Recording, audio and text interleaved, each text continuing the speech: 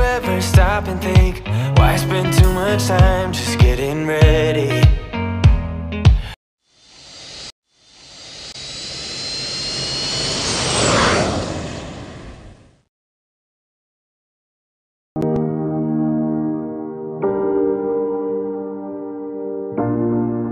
Thank